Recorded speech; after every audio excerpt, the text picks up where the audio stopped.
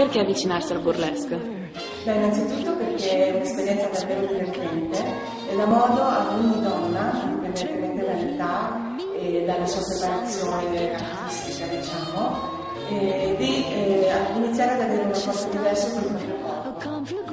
Ci si mette in gioco, trovando in sé quella sensualità ironica, autoironica. Quindi non si è più vittime del velinismo o nemmeno della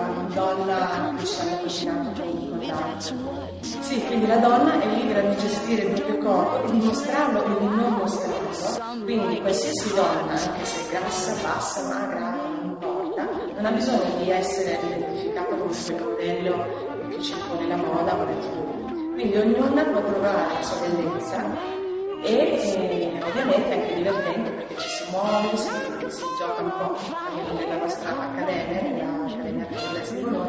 cerchiamo di trovare qualcosa di